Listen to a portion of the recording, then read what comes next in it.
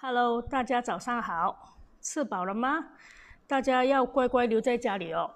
因为现在留在家里啊，是对国家最大的贡献。那今天来到了藏传佛教法会的力量第二集。今天我要为大家讲一个故事呢，就是工地工地女鬼。我是来自克切拉的过夜仪讲法师。追随我的上师尊贵的第二十五世占度古仁波切已经十二年了。那呃，在还没有就是故事还没有开始之前呢，那我想跟大家就是分享一下仁波切对佛法，还有就是一些就是关于佛法的一些呃小小的开示。那仁波切说呢，当我们在进行法会的时候呢，我们观想及祈求诸佛。借由他们的力量，为我们消除各种障碍，例如负面干扰、邪灵侵犯和中邪等等。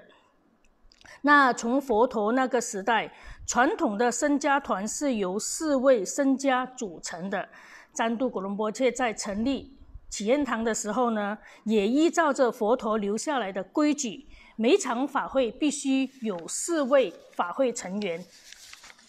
所以你今天看到我们每一次在进行法会的时候呢，都有四位就是成员一起持诵跟助念。那来，今天我们我今天呢就回归正题，谈回我今天为大家讲的第二个真人真事的故事。那其实这个故事呢，大概是在嗯四大概是四年多吧。那它其实是发生在。彭亨州的一个呃工地哦，就是发展商的工地。那那时候在建着就是呃电屋。那其实这位呃就是事主呢，他本身是一位打店，一位非常处事非常低调的打店，人也非常的和善，呃，跟我们也很谈得来。那我们为什么会认识这位呃打店呢？其实这打店呢，跟她的丈夫呢，其实是。白手兴家的，他们是属于中小型工业的企业家。那打电之所以会跟我们呃熟络呢，是因为他常常去到我们的博物中心，然后呃跟我们购买一些就是佛物。那慢慢慢慢的，我们就这样子就是成为了朋友。那经过同事的介绍，所以我也认识了这位就是和蔼可亲的打电。呃，其实他人真的是蛮友善的哦。呃，虽然是自己的，其实是一个非常非常能干的，就是，呃，怎么说呢，女强人呢？可是她从来没有自居，自己是非常有能力，然后呢，都是以就是大局为着想，所以跟她谈话或者是交朋友，其实是很舒服的。那呃，其实我记得，其实。那时候他找我们的时候呢，是通过我的同事在文物中心工作的同事。那他介绍说，他跟我的同事说呢，其实他最近在彭亨州有一个就是发展工地，然后工程进行的非常非常的不顺。那他说，哎，其实很多很多的障碍，那金钱上的周转呐，那工地里的这些呃工人呢。都全跑了，那而且是半夜啊，就是半夜跑掉了。那我的这位同事就很好奇，问了他一些，呃，就是哎，为什么会这么样子啊？为什么哎，就是工作做得好好的，然后老板也对，就是待他不薄嘛，为什么会跑掉呢？其实刚刚开始打电，其实不是很愿意说出来。那可能这个是跟就是商机的关系了，就是如果呃告诉别人说，哎，这个地方有一些呃我们华人所谓的肮脏的东西的话，那可能以后在呃出卖呃或者出售这个呃。电电屋的时候呢，可能会影有一些影响，所以他也不是很愿意说。那到最后呢，他也没有办法，那就呃，我在跟他见面的时候呢，他也只好就是很坦白的跟我谈，就谈出他的苦衷。他说，其实他的这个呃工地地段啊，呃，从建到呃就是一直在建的时候呢，其实发生很多事情。其实工地也不大，也呃就是。呃，面积也不大，可是就是很多很多的障碍，非常非常的不顺。那为什么工人会跑掉呢？然后而且是半夜三更就跑掉。原来啊，其实有一些留下来的工头就是告诉打丁说：“哎呀，他说他们在晚上的时候完全没有办法睡觉，那而且所以早上起来啊，就是工作没有精神。”可是每一次呢，是怎么样的睡不着呢？原来其实，在他们晚上睡觉的时候呢，和半夜的时候，那他们常常听到一些奇怪的声音。那奇怪的声音可能就是呃这边撞一撞，那边撞一撞。那还有呢，就是有人敲门，有人撞门。那打电也觉得很，就是很困扰。那他也请了一些道士去帮忙，就是呃清除啦这样子。呃，可是还是解决不到问题。那可能平静了一两天，然后接下来又再来。那打定就说了：“哎呀，怎么办呢？”那有一个最最严重的状况呢，就是每一次他们就是呃工人收工回去了了，就把那些就是铁架，和我们叫那个铁架，就是工人踏上去做就是做高楼的铁架。那搬进去他们的呃，就是所谓的储存储存呃储存柜。那晚上的时候呢，就把这些呃工人呢吓到破胆，那个铁架呢自己跑出来，铁架自己走路，然后你看不到有人刚，然后就是在三更半夜，他们听到咔咔咔咔咔声这样子，然后原来是铁架跑了出来，那这些这些工人吓得就是脸青唇白了。说打听说，其实他也他自己本身没有亲眼看到，可是因为工人讲的时候呢，真的是怕的那个样子呢，其实是吓，就是好像被吓到，呃，自己也不知道怎么办样子，所以才跑进跟老板说，所以就是呃，而且就这样子的状况呢，就是所谓的这个铁架晚上出来，呃，就是走路的呢，其实走了就是好几，就已经经过了好几个月，可是。做了好多好多事情都没有办法，那法事也做过了，呃，这边烧这些呃金银啦也做过了，都没有办法平息这样子的一个看起来其实是蛮怪异的呃奇异的事件。那呃其实最严重的就是呃不只是如此，那工人也在工地受伤。呃，还有呢，就是有时候呢，就是他们在工作的时候啊，那个呃不小心啊，就是拿起可能是锄头啦、呃锤子啦，忽然之间会从他们的手上滑下来，这样子掉在他们的脚，所以就无端端就遭殃了。所以这个就是为什么这些工人全都跑掉了。所以这个让这个我们这个打丁很苦恼，他说要怎么办？要怎么办？那我后来就。呃，想想，哎，我们就去做一个户外呃法会。那我们第一次去做户外法会的时候呢，其实看的那工地，其实早上看起来其实没有什么特别，也没有怎么样，只是觉得呃，你去到的时候呢，就感觉就是工人的那个神情是怎么说呢，就是很硬绷绷的，然后也笑不出来。那好像大家都很紧张，可是他们都很努力在工作，看得出来，其实真的很努力在工作。可是就是他们心里好像有一种障碍，或者是害怕。那他看到我们，其实他们也没有说特别打招呼，因为我觉得是前一夜应该也是被干扰蛮多的，所以这所以早上起来真的是有点目目无表情。那我们去的时候呢，其实是从吉隆坡下去，那时候我们还在吉隆坡，吉隆坡下去，呃，大概两两个小时。那去到那边大概是呃早上呃八点多，正是呃工人在开工的时候。那后来我们就帮他们做了一场法会。那我有一个惯性的，就是呃就是很习惯了，就是每一次我在外面呃就是执行了就是讲法师的工作之后呢，我都会跟呃罗摩切汇报。那我就很自然的就呃做完了这一场法会之后呢，那我就跟罗摩切汇报。那基本上，如果是没有什么特别，就是呃大碍的话呢，或者是没有什么特别重要的话，那我们去看了就呃就是没有什么，就是呃可能给我一个就是呃 OK 这样子，他也不会说什么。那当我就把这个呃这个工作这个汇报给了摩切的时候呢，那罗摩切就马上就是呃跟我说，就是说呃就回我就是讯息说。呃，你要做以下以下我叫你做的事情。那原来其实后来我才知道，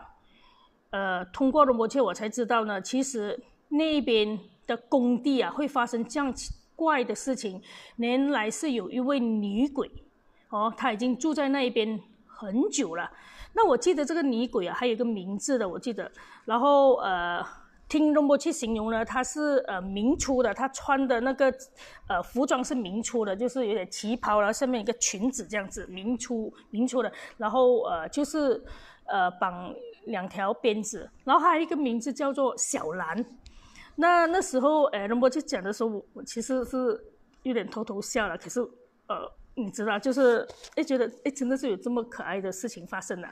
那那么去说呢？呃，其实这位，我们就称她这位女鬼，就是有点没有礼貌，我就称她这位鬼姐姐了。这个鬼姐姐呢，在其实，在那一边呢，在呃，这个就是发展商进呃入住之前呢，其实她已经在那边住了好久好久。那因为发展商在呃。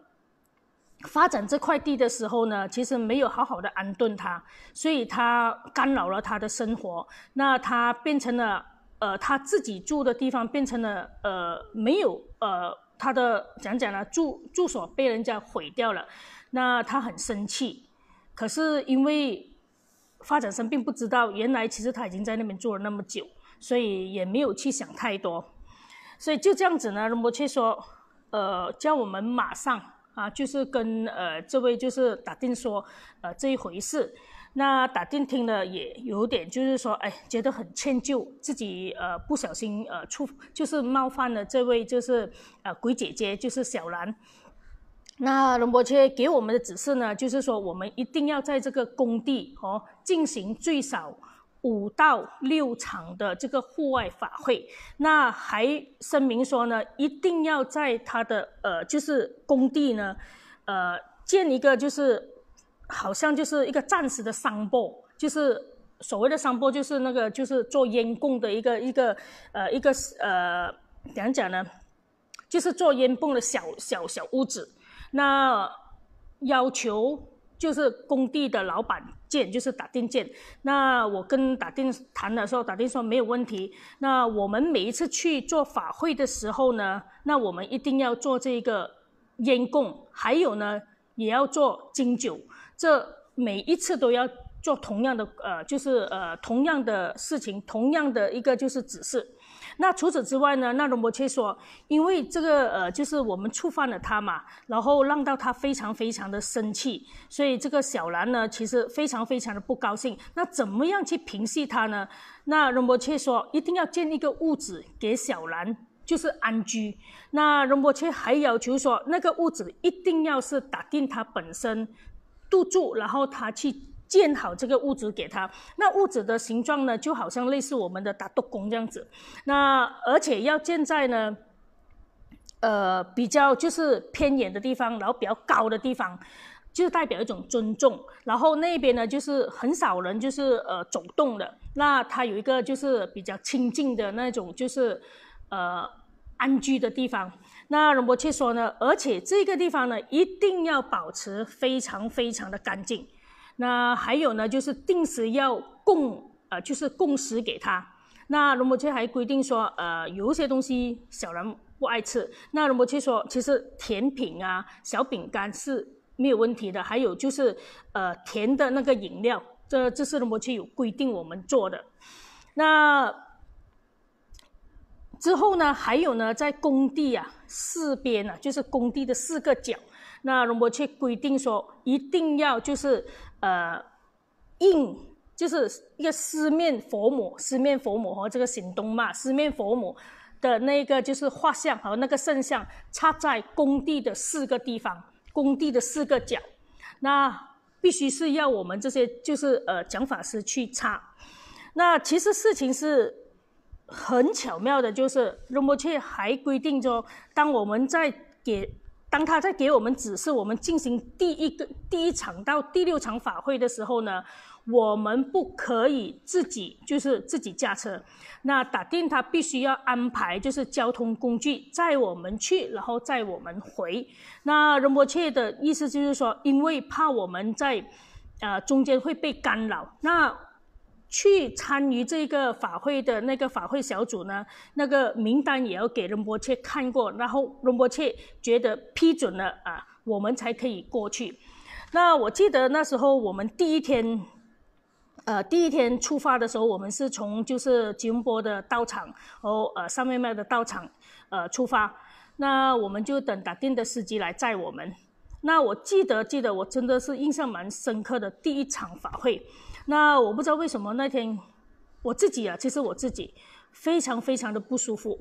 那我们走出了那个只是呃出到那个道场的那个路口的时候呢，要呃往这个呃嘎拉海威走来的时候呢，其实不到五分钟，那我就整个人呃肚子一直在绞绞绞，绞到我整个就是冒冷汗，我感觉我自己真的是好像要晕眩。其实我从来没有发生过这样子的事情，因为我身体向来都还好的，从来不会说有这样子的一个状况。我我自己真的是撑不住了，那我就跟司机说：“哎，你停一下，呃，我感觉我要呕吐。”那果然就是还好，司机停下车呢，其实都还没有驾到路旁，我就忍不住了，就直接就是一开门就。呕在那个那个马那个马路上还好，因为是凌晨了，我们凌晨出发，凌晨呃大概五五五点到六点左右出发，所以是呃没有车的。那我就呕了一大堆，其实其实呕了，我整个人就是其实很就是完全没有力的，呃，连就是就整个人就瘫，就是可以算是瘫在那个那个呃那个车他的车的那个椅子上，还好，其实真的是快一步，要不然我真的是。呕在他的车上，是不是？那我就那时候我的同事就问我，其实我们还要不要继续？呃，还你还可以吗？你可以撑吗？那我就呕了一，就是其实呕了蛮久一下，其实我呕了好多好多东西，我也不知道我呕了什么东西，只是觉得奇怪，为什么会呕？那呕了之后呢？其实我就呃休息一下，那我就跟呃那个司机说，哎，我们继续走。那我说我我觉得我还可以啦，那我就呃自己在观想仁波切跟护法说，希望我可以就是完成这一次的这个任务。那我们就直接就去到了，就是一直这样子，那一整个路程其实都很不舒服，那很不舒服。那我们在。在呃，就是在呃文东呢，我们去接我们的另外一个同事，就是呃谢松平讲法师。那谢松平讲法师跟我一起过去。那谢松平讲法师也是遇到了一些状况，就是他说啊，他在车呃，就是他在驾车，就是呃跟我们汇合的那个地方的时候呢，有一条大蛇，就是从他前面走过，所以他要等着那条大车。走了之后呢，然后他才可以跟我们会合，所以我们等了他大概是，他他呃迟了大概是半个小时到四十五分钟才到达我们跟他会聚的一个呃一个地方。那其实我就那时候就是心想，哇，原来真的是还好，龙伯去说的，就是跟提醒了我们，就是说我们千万不好自己驾车，因为龙伯去说，呃，其实这个女鬼非常非常的生气。如果其实他知道我们，因为他不知道我们是善意还是恶意的，所以他如果我们去到他这这个工地呢，他以为可能我们会，呃，把他赶走，或者是呃把他呃就是把他消灭，所以他会非常非常的生气。那在中途呢，他一定会捉弄我们这样子。果然是真的是呃如如人不切所料。那还好呢，之后呢，我们呃会和我跟呃就是。呃，谢松平讲法师汇合了之后呢，那我们就又在就是继续我们的旅程，然后一直其实之后呢就很顺利的到达了呃目的地。那我们到工地的时候呢，那我们就马上进行了摩切所叫我们做的东西。那先把这个四这个呃四面佛母啊，就是插在四个角，插在四个角。那然后呢，就是呃工其实打定已经做好了那个就是呃。用砖头做的那个就是商铺哦，就是那个呃做烟供的那个就是小屋子。那我们就开始做烟供。那屋子呢，就是那个女呃，就是那个呃鬼鬼姐姐啊，是小兰的屋子呢，也做好了。那我们也买了贡品，所有东西都买了。那我们就呃开始在做烟供的同时呢，那我们另外一个人呢，就是呃我们另外另外主人呢，就去就是帮他设置他的小屋子，那呃排好所有的贡品啦，就是给他很丰盛的贡品，那蜡烛啦，呃，包括一般的那个呃金银子，我们都准备好。那吃的啦，啊有呃糖果啦，就是甜甜的，呃就是他爱吃的，呃饮料啦，都都准备好了。那屋子也很干净，我们也特别呃帮他抹了清清理的很干净，所以那屋子是呃是十分漂亮的。那我们就开始做法会。那如果去说，其实要做大量的烟供。那我们呃在呃一定要在那个炉边啊，就是在那个呃烟供的那个呃小屋子那边做，一边做烟供，然后一边倒金酒，一边做烟供一边倒金金酒，然后呃烟供是特大的，甚至特大的，好像真的是在烧烧一间家这样子，一直在烧。那我们在旁边在做呃敬酒的时候呢，其实是很。烟很熏的，就是整个眼睛都呃呃熏得流泪。那太阳又很晒，因为我们去到的时候八点八点半的时候呢，哇，太阳一工地是没有没有遮拦的，哇，好晒好晒，晒的整我们都整个就是每一个人的脸都涨红了，然后又不能喝水，哇，我觉得我们这边工地就是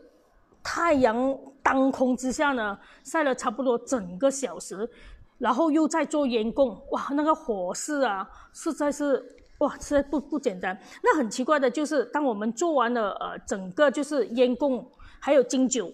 然后还有就是简短的那个就是呃祈愿文的时候呢，哎，很奇怪的就是也是一样的东西，就感觉就是说，哎，微风就是又在吹过来，哎，就是你感觉整个感觉又很舒服了。那呃，我们两个讲法师还在边是哎。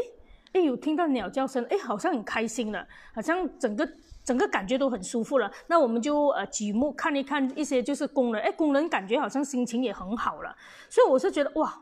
原来真的是好有效果啊。所以龙波却说呢，其实呃，我们真的是要尊重啊，就是我们在做的时候做法会的时候，一定要尊重这位这个这个原来的地主，就是这个呃小兰姐姐。那。不尊重的话呢，那可能就会造成不他的不方便。所以如果他造成他不方便，幽灵它本身哦，其实跟就是跟人一样，就是他都是在六道轮回。那他也有就是喜怒哀乐。那他生气的时候，他自然就是不开心。不开心的话呢，他肯定就会捉弄你。所以这个就是很正常的。那荣波切那时候还还有特别，还有特别就是声明跟打定说呢，就是说他一定要和保持保持那个就是那个小屋子，就是那个小兰的小屋子呢，一定要干净，然后定定时就是供做供养，还有就是烧香点蜡烛给他。那我们就把这个其实这个法会陆陆续续六场都做完了。那其实。做完了之后呢，然后也照着龙波去所做的每一个就是细节都做完了之后呢，果然之后呢就没有就是没有听听打电投诉说，哎，呃工人跑掉啦，然后半夜他的呃工地的铁架自己走路啦，或者是呃工人忽然之间不小心啊那个呃锤子滑滑跌在自己的那个呃脚趾头啦之类之类的事情已经就没有了。那可是呢，呃，大概是过了一个月或者是两个月，他打电又再打电话过来，哎，打电话就他很他又很焦急，他说：“哎呀，呃，我的工地又在发生事情了。”那我就觉得很奇怪，哎，我就说：“哎，不太可能啊！如果是我们有照着了摩切的指示的话呢，基本上是不可能会有问题的。”那我就知道可能有一些细节他没有做到。那我就问他：“哎，呃，打电话你有没有看一看这个小兰的屋子，OK 吗？”呃，你有没有问工人有没有就是每天帮他打扫啊？呃，有没有说就是说呃旁边或者是左右啊干净啊，或者是有有什么不妥这样？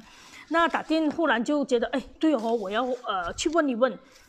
那就呃就是他叫我等一等，那赶快就打一个电话去给他的工头，原来才知道，真的是事情就出现在小兰的屋子，那小兰的屋子呢？这个工头呢，因为过了一个月多了，整差不多两个月了嘛，大家又把事情忘记，因为没有事情了嘛，啊，大家就开开心心了，所以就没有预料到呃什么状况。原来他们是没有好好的去呃把小兰的屋子。打扫干净，然后这样子不用紧。那他们做的贡品啊，就是他们放了一些橙子啦、茄子啦，呃，一些小饼干啦、糖果啦，然后他们没有收掉，然后就给一些就是野狗吃，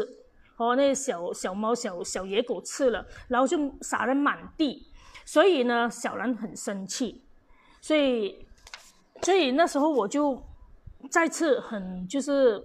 用很就是很认就是很严肃的那个语气跟打电说。我们一定要遵守，就是照着这个指示，把这个屋子，呃，就是打打理的好好，要不然的话，可能就会造成就是工人啊，或者是你的工程，其实进行的非常不顺利。那还好还好，其实打电他非常的就是相信我们，因为他发，其实他看我们做的每一个细节。哎，他都发觉到，哎，每一个细节我们都做的就是妥妥当当的，然后一做完了，然后只是呢，其实真的是没有发生任何事情，所以他对我们产生了一定的信任。所以当我们跟他就是呃劝呃劝告他的时候呢，他马上就呃意识到，然后他马上就把它做好。那说到现在为止啊，其实。我都没有再接到打定的任何电话。那据我所知呢，其实他的工程后来也非常非常的顺利，哦，所以是非常分钱顺利完成。那工头跟工人呢合作也非常的愉快，没有像以前这样子，就是呃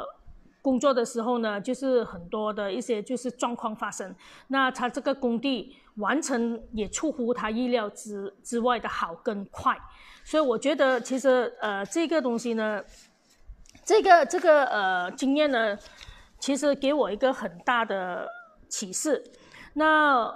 也是其实我却常常讲的，其实每一个地方和每一每一间屋子、每一块空地、每一片土地，都有他自己所谓的土神灵哦，或者是龙族，或者是灵体住在那边。那我们身为就是呃，身为就是呃，就是外来的就是。后面来的呃，就是借用者呢，其实我们必须要尊重他们，OK？那呃，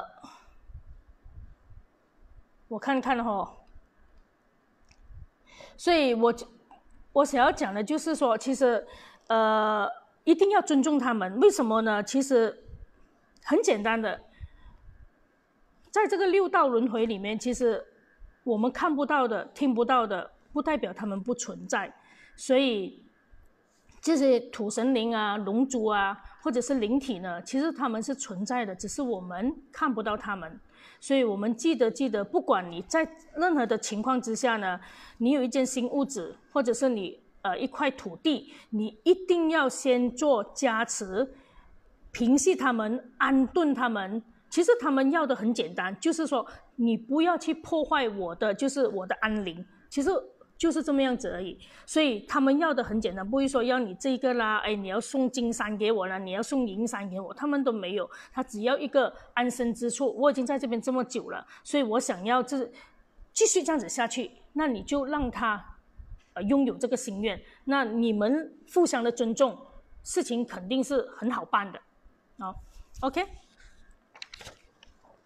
那呃，我这个故事呢，讲的就是比较平时哈，没有像昨天这样子，好像过山车这么刺激。但，我觉得其实在整个过程里面哈，其实对我们来说听起来其实是没有这一回事。可是，在现就是那时候当下的人呢，其实他们会非常的害怕，因为呃，如果遇到这样子的事情，然后他们又看不到，然后他们又不知道发生什么事情，所以其实怎么样来说呢？都是会感受到一种就是呃生命被威胁，那我觉得这一个东西其实呃在这一次的这个第二集的这个藏传佛教的呃法会的力量的第二集呢，为什么我会谈这个呢？就是最主要让大家知道，工地地呀地有地主和我们物有物主一样的道理来的哈。那还有呢，就是其实我的这个故事呢，今天就讲到这一边。那我。就呃帮一位就是朋友啊，昨天他有问一个问题，所以我觉得其实是这么巧符合我今天所要谈的这个课题。啊，他这个呃这位呃朋友叫做双样哦，双样的问题呢，他就是说啊，呃，请问旧屋子要撤了重建，应该要做法会吗？我我不知道他的问题是说应该要做什么法会，还是说应该要做法会吗？但是我就用书面来回答，是的。如果你刚才听了我这个故事的话呢，的确是需要做法会的，不管是土地、建筑物，或者是新的物质、旧的物质，其实都要做法会。那一般上呢，怎么样的法会呢？其实呃，看个人。那我们通常呢，就是呃会去到呃，比如说呃，好像我们就以这个呃这位就是这位朋友的这个问题来来回答了。那旧屋子拆了就变成一块地了嘛，对不对？那你变成一块地了，就是说呃你在还没有在重建之前呢，那你一定要就是呃讲讲呢，就是调服啊，或者是平息一下，就是。呃，住了这边很久的朋友，你看不到的朋友，那可能是他的工，或者是土地公啦，我们所谓的土地公，或者是其他的土神灵，啊，或者是这边呃你看不到的好朋友，和我们其实所谓的幽灵啊，到处都有，只是我们看不到他们而已。那他会不会干扰你？很多时候也是因为我们的业障的问题，那有时候也是因为我们可能触犯了他们的私隐。哦，他们也有私隐哦，每一个人都有私隐哦，包括呃六道众生都有他自己的私隐。那所以呢，我的建议就是说，你其实最好在还你已经拆了嘛，说拆了就最好呢，在还没有重建之前，就还没有动工之前呢，就是还没有装修之前，一定要做一场法会。那清除就是净化你的这个土地。那净化这个土地呢，有。两个好处，第一个呢，就是你让就是住在这边的，就是你看不到的好朋友啊，就是呃，他可以就是说，哎，我的安身之处没有被毁掉，我还是可以住在原来的地方，所以他就会很尊重你，他会很感谢你给他，就是继续留下来。那第二呢？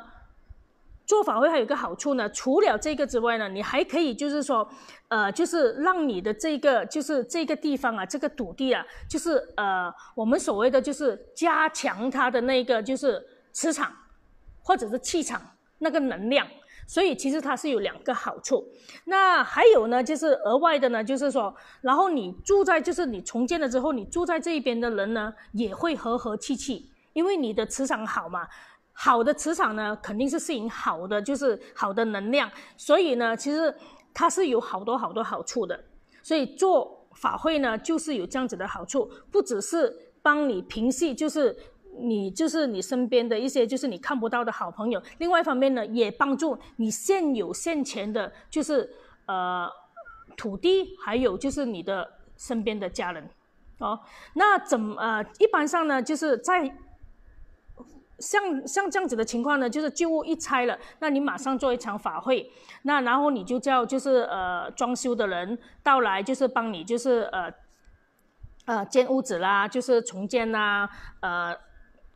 做就是。什么装装装啦之类的，然后做完了呢之后呢，就是你搬进去之前呢，吼，那如果是能力可以的话呢，其实我也会建议你多做另外一场的，就是呃新居入伙的法会。那这个也是很好，为什么吗？因为你虽然做了第一场嘛，那可能你已经是说，哎，安抚了你的朋友，可是第二场呢，可能你就是说，哎，我已经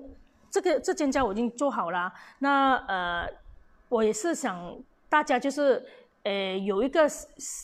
新气象和新的新的开始，呃，新的那个讲讲新的日子要过，那我们大家一起，你把它当做一家人，那我们一起来庆祝我们新居入伙，那你也有一个很好的安安居的啊地方这样子，所以其实是很好的，所以你可以做两场法会，那可是呢，在这个之前呢，先做第一场，一定要做第一场，要不然呢，你可能会发生类似这位打定的哈，这位打定的呃同样的那个问题。哦，可能会触犯到他们啊，这个是呃，这个就是其实我刚才的故事已经是帮你解答了你的问题了哈，啊，谢谢你的支持哦哈，跟观呃跟观看，如果还有什么你不是很明白，或者是你听了不是觉得很仔，不是呃听得很仔细的话呢，你可以在呃就是在留言啊让我知道，那我会再呃细细的跟你回答。好，谢谢你。那呃，其实呃，到这边呢，其实我们也其实差不多到了一个总结。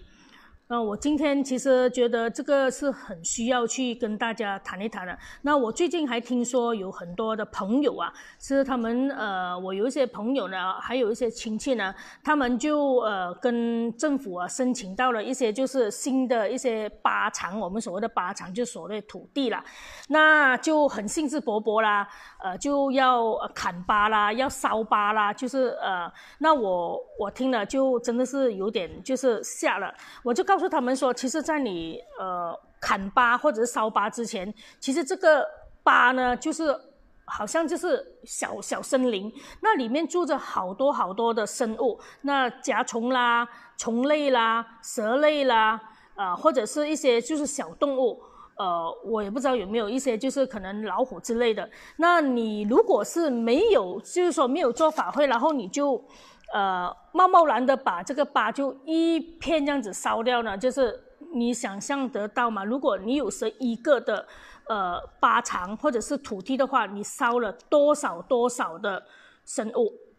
所以其实这个总是一种讲讲呢，就是可以算是一种呃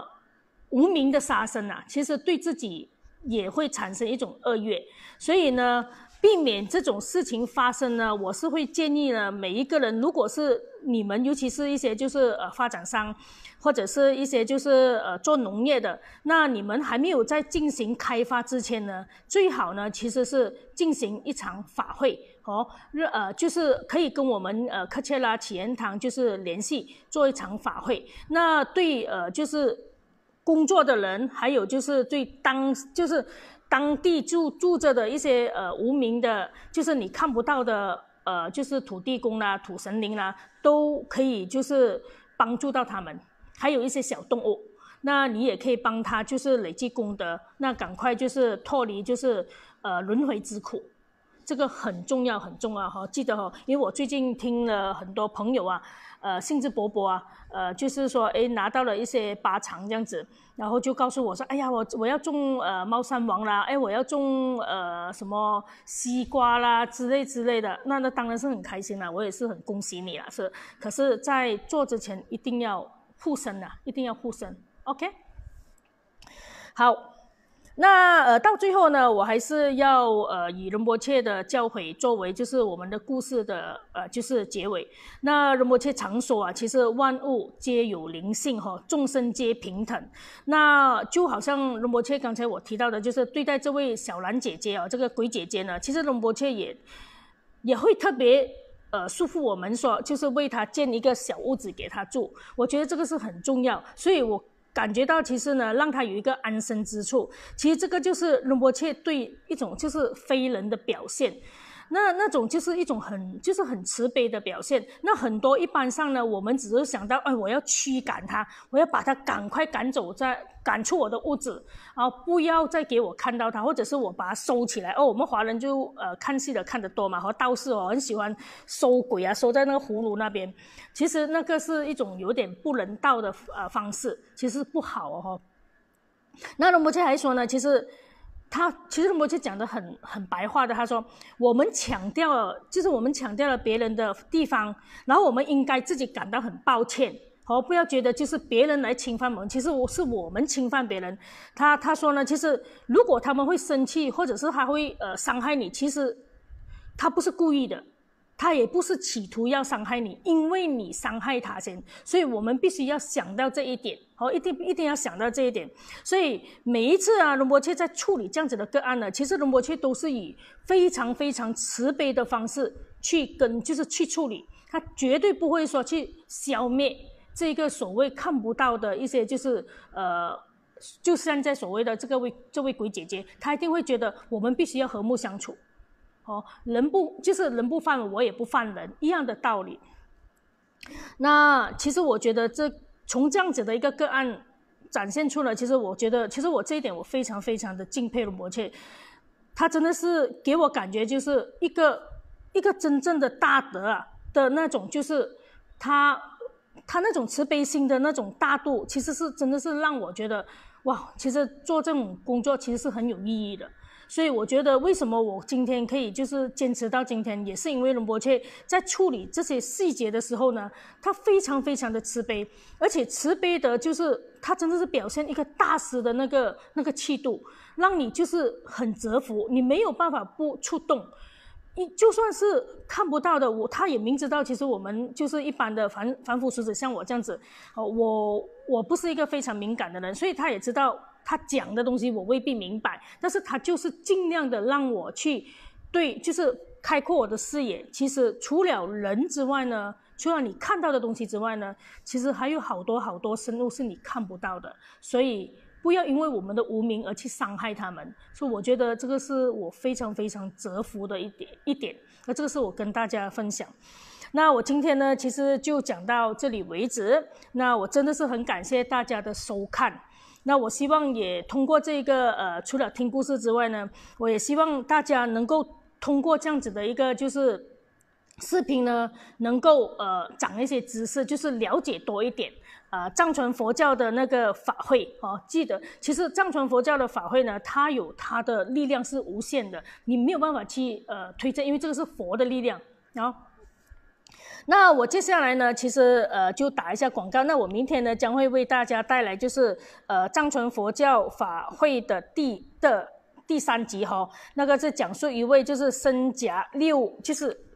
呃身怀六甲的一个少妇啊，如何在仁波切的协助之下呢，在护法的帮助之下呢，庇护之下呢，生下了健康的宝宝，然后自己也自己啊，他自己本身也从死门关走了一圈回来。其实这个也是。非常非常的，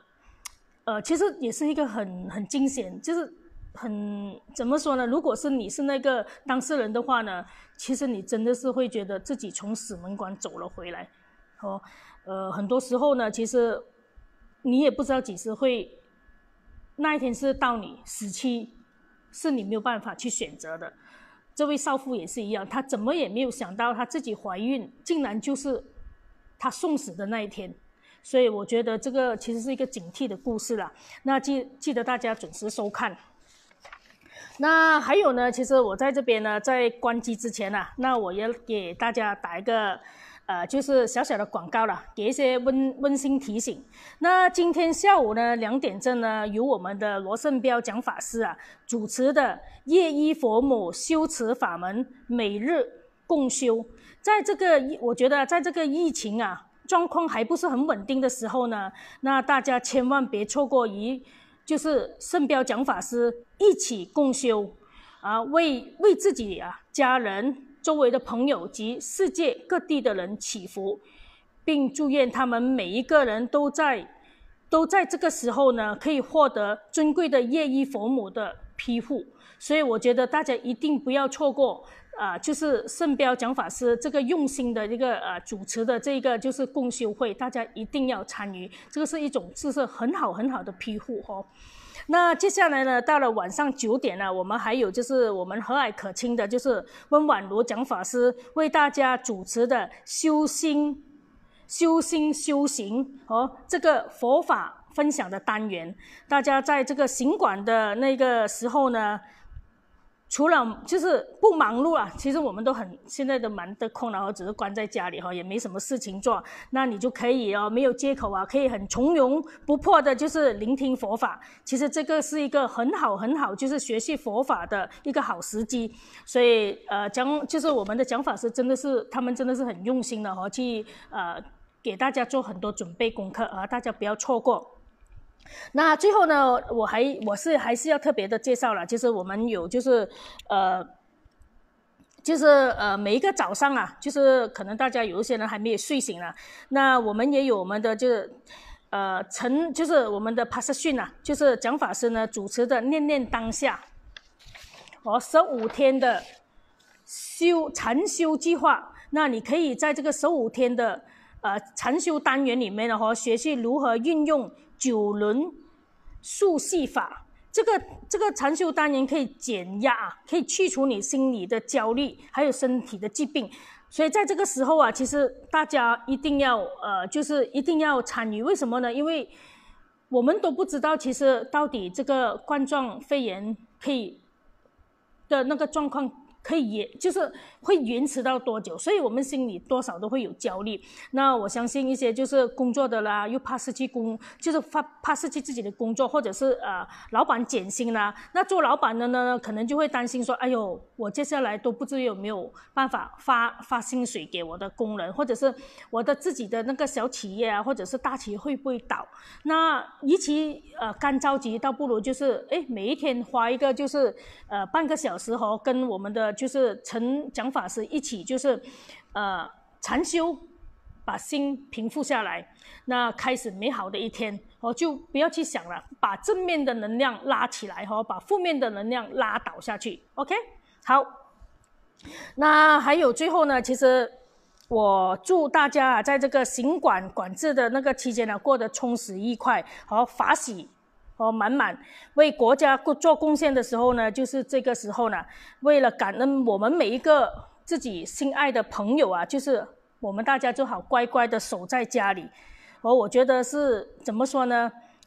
抗疫啊，人人有责哈。祝大家就是抗疫快乐，谢谢。